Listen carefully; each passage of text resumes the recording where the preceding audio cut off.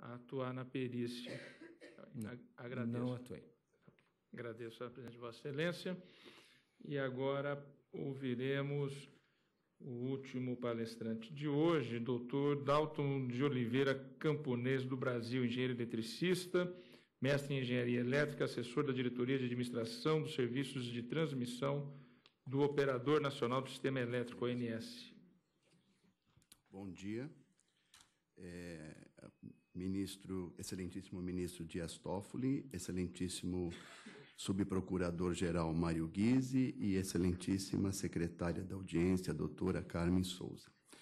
É, eu estou aqui representando o Operador Nacional do Sistema e, em vista de um comentário feito ontem na apresentação da EPE a respeito da, de números que possam indicar terrorismo, dos valores, do impacto, então, e a nossa apresentação vai ser exatamente relativa a repercussões práticas e econômicas uh, decorrentes de uma adoção de um padrão diferenciado de limite de campo magnético no sentido de valores mais restritivos. Então, nós temos números que possam ser chamados de catastróficos. Então, eu gostaria de posicionar um pouco essa questão. Como foi dito ontem, é, todas as linhas de transmissão e distribuição brasileiras, quer sejam rurais ou urbanas, elas seguem é, as normas e, particularmente, atendem à resolução da ANEL 398 com relação aos limites de campo magnético e elétrico, quer sejam você tenha pessoas próximas ou não. É, também foi dito ontem que numa linha de transmissão existe a faixa de passagem ou a faixa de servidão, onde, em princípio, não é permitido a existência de nenhuma residência, moradia dentro da faixa, por ser considerado uma situação ocupacional. No entanto, a partir do limite da faixa, é permitido qualquer coisa, moradia, escolas e assim por diante. Então, uh, a nossa preocupação, que eu vou falar muito do sistema de transmissão, onde grande parte da rede de transmissão brasileira ela é em terrenos rurais. Então fala, poxa, mas vocês estão falando disso, aí não tem aglomeração. Então eu gostaria de pontuar que nas áreas rurais você permite agricultura no interior, da, inclusive no interior da faixa, pequenas agriculturas onde uma pessoa pode estar trabalhando ao longo do dia. Além do que, pode ter uma residência próximo do limite da faixa. Então, a questão é, se esse valor for adotado, por exemplo, por uma preocupação maior em relação a uma zona urbana, o padrão de resguardo à população, ou a, a quem quer que seja que fique no, na borda da faixa, ela deve ser estendida a todo lugar do Brasil. Então, a nossa avaliação das linhas de transmissão, ela tem esse caráter. E o outro ponto que eu acho importante frisar, que o serviço público de transmissão e distribuição é um serviço público, de, de serviço de público. É diferente de uma indústria do cigarro, que qualquer ônus que vier por uma eh, decisão judicial vai ter que ter coberta pelo fabricante, pelo, pelo conselho de administração. O serviço público, pelo que eu entendo, qualquer decisão emanada de que envolva adequação, mudança, investimentos no sistema, ele vai ser remunerado pelos consumidores. Então, essa é a diferença. Eu escutei falar de padrões subterrâneos. Eu acho importantíssimo a gente discutir isso, particularmente nas zonas urbanas. Porém, quem vai pagar são os próprios consumidores. Então, o custo da energia vai ficar mais caro para todos. No caso da distribuidora, é para os, os, os consumidores daquela distribuidora. E no caso do sistema de transmissão é por consumidores de todo o Brasil. Então, essa é uma diferença que eu acho também importante a gente ter em mente aqui. Bom, o operador nacional do sistema, ele tem, ele foi criado pelo decreto é, 5.081 de 2004, não precisa. E ele uh, tem como principais atribuições a operação do sistema interligado, o despacho da geração e a gestão do sistema de transmissão. E ele faz isso baseado numa, ótimo sistêmico, numa dimensão de ótimo sistêmico, que é segurança eletroenergética, garantir ah, o suprimento eletroenergético a níveis econômicos, na economicidade necessária e com qualidade. E faz baseado nos procedimentos de rede, que são os códigos onde estão de detalhados todos os procedimentos e critérios que o operador tem que seguir, além, naturalmente, da legislação e da regulamentação do setor. Aí está um. Fica um pouco difícil de longe da gente ver. Está aí uma, uma situação da matriz energética brasileira, onde a gente pode ver que a demanda máxima em 2011 era da ordem de 70 mil megawatts, e a capacidade instalada de geração 110 mil megawatts. Além disso, mostra como é composta essa matriz, basicamente com grande parte pela hidroeletricidade.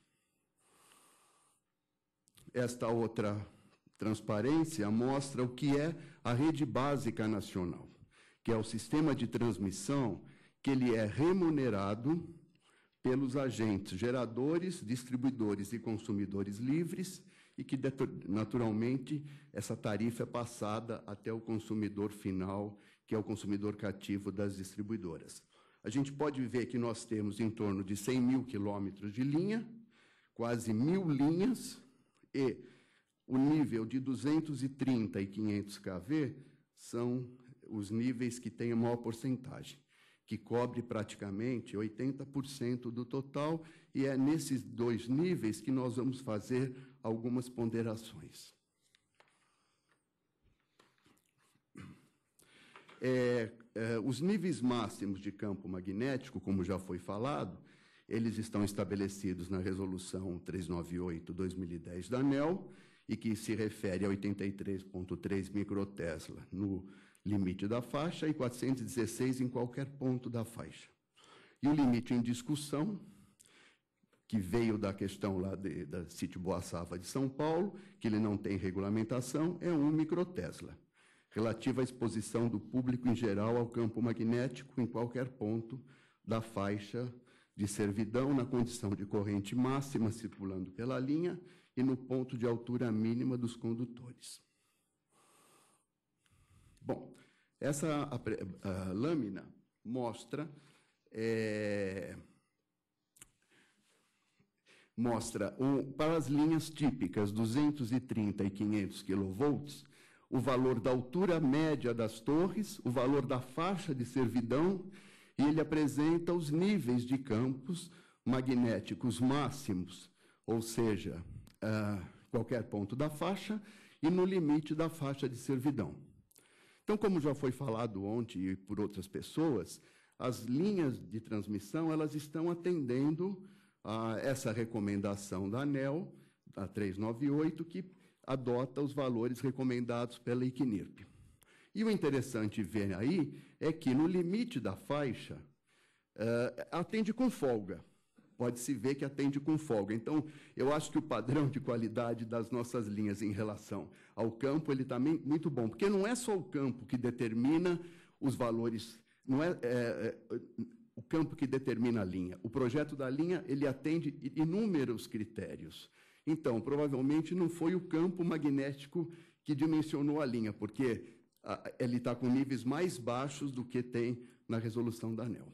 Bom, é importante ver que no limite nós estamos com um valor acima de um microtesla. Estamos com 6,9. Porém, pela apresentação do Dr. Vecchio, eu vi que na Itália eles adotam 10 microtesla. Então, nós estamos até bem com relação à Itália, estamos até cumprindo para as linhas de 230 e 500 os valores compatíveis com o valor adotado na Itália. Além disso, gostaria de enfatizar que na Suíça, como dito, que eles adotam o valor de 1 microtesla como valor de precaução, porque eles também adotam os limites do ICNIRP, e lá na, na Suíça, eles fazem excepção, excepcionalidade para as linhas existentes. Então, eles falam, o 1 microtesla só para as linhas novas. Os existentes, eles convivem com valores acima de 1 microtesla. Então, em seguida, a gente vai fazer dois, duas visões. Se é agora necessário a gente atender um microtesla imediatamente. Claro, pode ser uma, uh, um absurdo a gente pensar isso, mas uh, através dos resultados é bom ver que tem que se tomar cuidado com as decisões, porque elas podem ser tremendamente catastróficas. Então, primeira coisa é um limite imediato. Vamos ter que amanhã todo o sistema adotar o limite de um microtesla. O que acontece?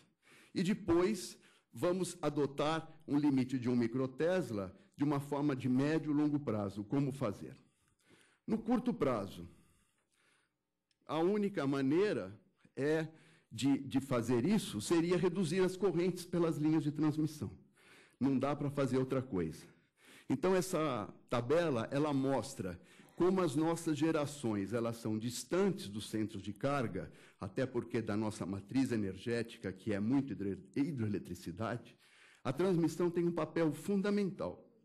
Então, o que fizemos é quanto seria, em média, hoje, para atender aquele 63 mil megawatts médio da demanda brasileira, passando das usinas pelo sistema de 500 e 230, que tem um carregamento, para trazer essa energia para o centro de consumo, reduzindo essa corrente nessas linhas, para que a gente cumprisse com o valor de um microtesla, no limite da faixa, a gente teria que fazer uma redução de carga da ordem de 80%. Quer dizer, eu só conseguiria atender 19,7 mil megawatts e deixaria de atender os 63 mil megawatts. Quer dizer, é um absurdo. Quer dizer, eu posso dizer isso que é um absurdo, porque uh, os impactos na economia seriam catastróficos. Né? Então, isso é só para dizer que vamos pensar, vamos ver quais são os impactos de uma decisão que pode causar. Então, essa é o curtíssimo prazo.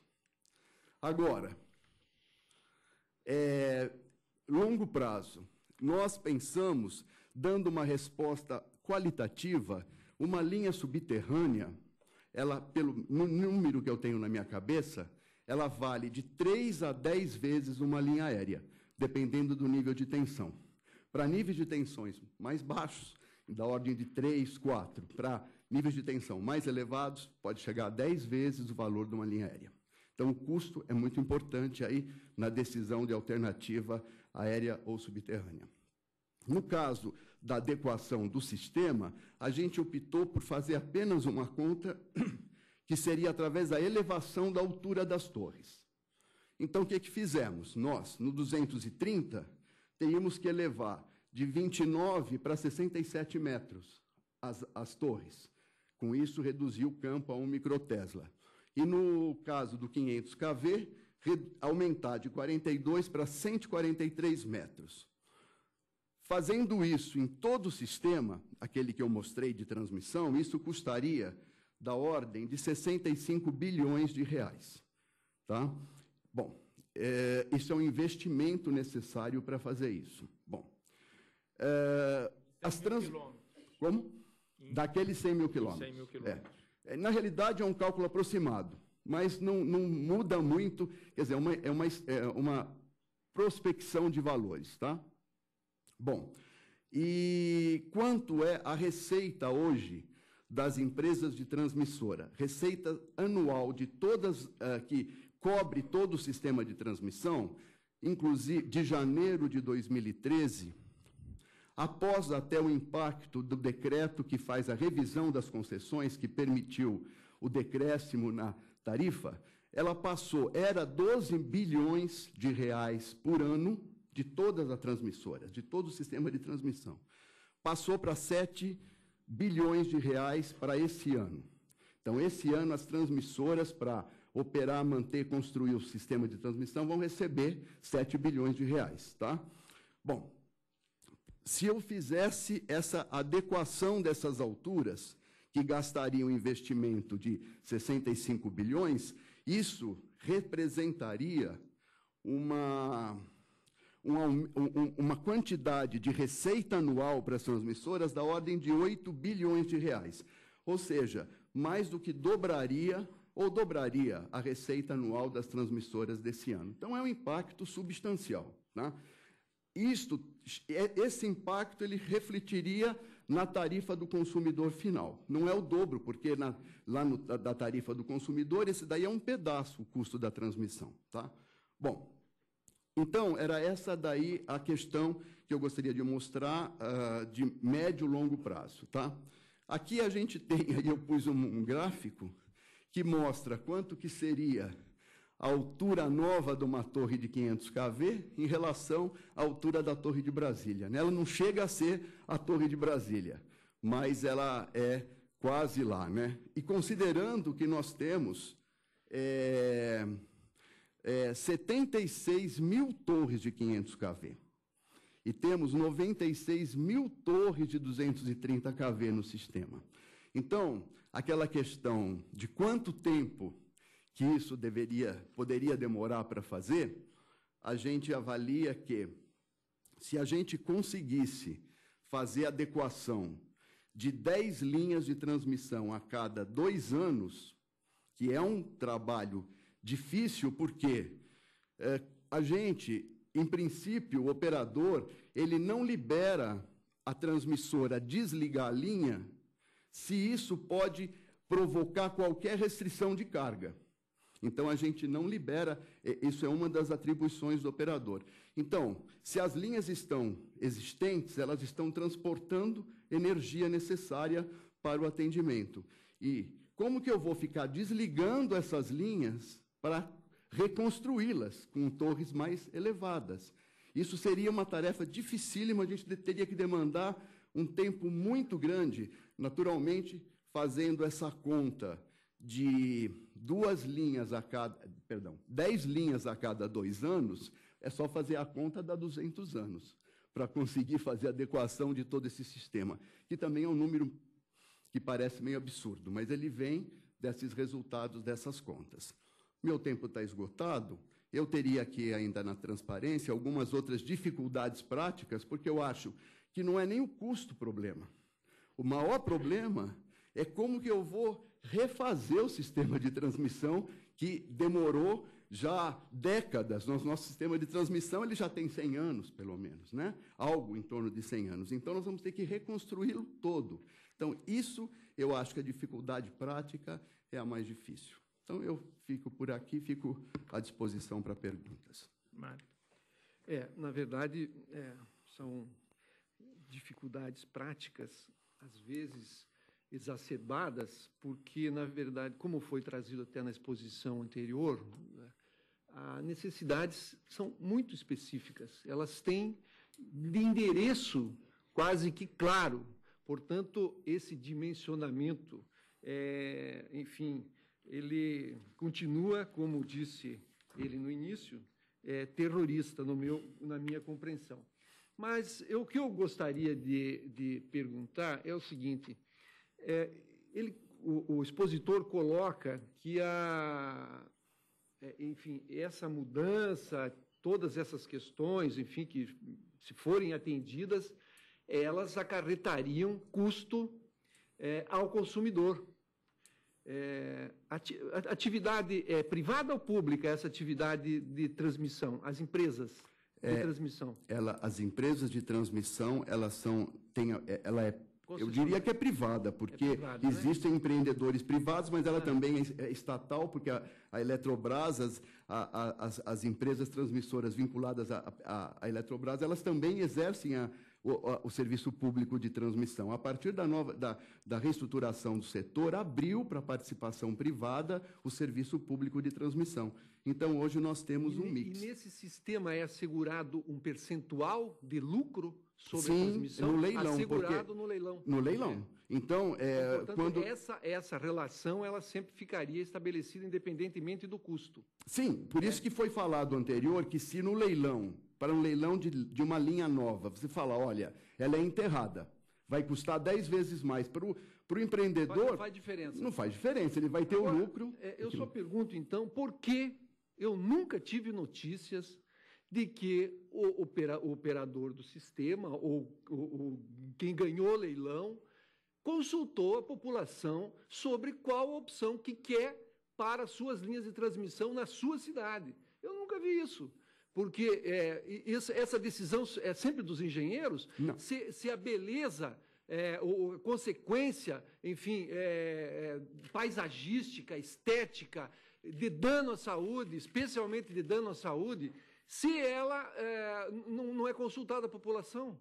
Na verdade, quem é que está decidindo é, se o custo é conveniente ou não é conveniente para a população de São Paulo? Para se não quer dividir esse custo, se não quer enterrar, quer dizer, então é, essa diferença, é, enfim, se para o operador não faz diferença, o ideal seria fazer audiências públicas, consultar a população local para saber qual é a opção que quer, porque na verdade é ela que vai tirar do bolso essa, essa, essa esse capital para colocar, enterrar ou levantar, enfim, qualquer é, é, é, é, enfim, qualquer dessas linhas. E outro aspecto também, é, Excelência, eu, eu, pergunto se é, ficou muito claro que a, a, a dimensão e, e da, da, potencialidade de danos à saúde, à população, enfim, também, volto a dizer, o estético, paisagístico, etc.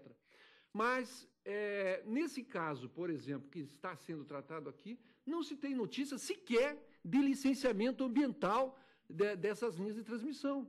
Então, é, enfim, que eu gostaria que o expositor pudesse dizer alguma coisa okay. a respeito, como que essa coisa funciona aí tá. nesse contexto. Bom, olha, então, é, a primeira coisa eu diria o seguinte, que é, para uma nova linha de transmissão que vai ser implantada, existe sempre uma consulta pública é, quando você tem no, no, no, procedimento de obtenção do licenciamento ambiental.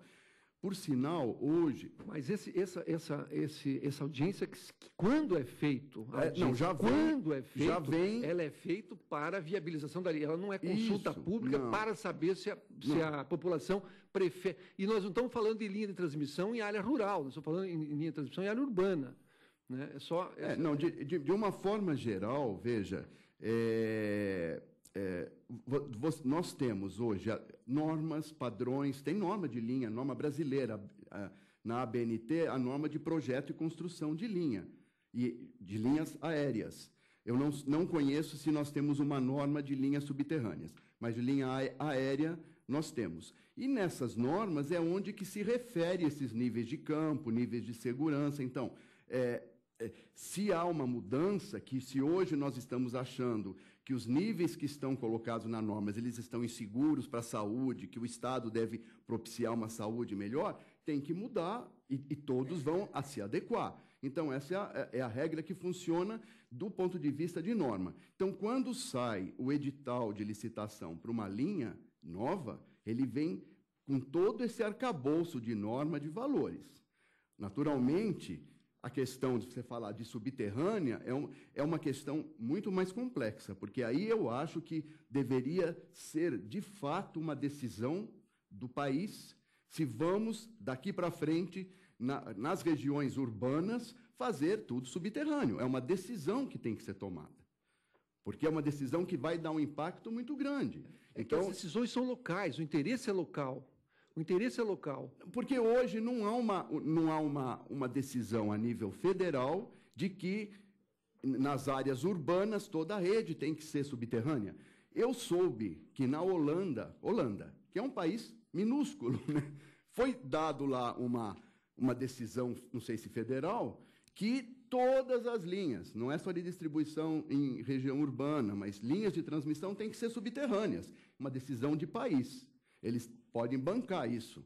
No Brasil não há isso daí. Então, há sim preocupação das empresas, eu entendo que haja preocupação das empresas distribuidoras e transmissoras de fazerem as linhas, até mesmo porque, para obter a licença ambiental, hoje é muito difícil. Então, essas questões que impactam visualmente, com, uh, que se aproximam de reservas indígenas, é muito difícil e que existem contrapartida das empresas de darem, é, fazerem uma contrapartida.